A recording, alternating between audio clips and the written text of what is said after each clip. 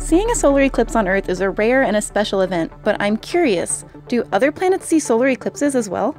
Ah, that's a really good question. There, um, this is a very particular alignment, right? Because the moon, of course, is not the same size as the sun, but it's the apparent size as viewed from the earth that it just lines up perfect. So the moon's apparent size in the sky is exactly the same as the sun's apparent size in the sky. And to get that uh, geometry to line up that's kind of a special thing. Uh, it certainly could happen but to have that special alignment that's kind of hard to do. Um, and in fact he, even here on earth there's going to be a day when we're not going to have solar eclipses anymore because as the moon gets further and further away from the earth, there will be a day when it won't block out the sun anymore. So that'll be a sad day.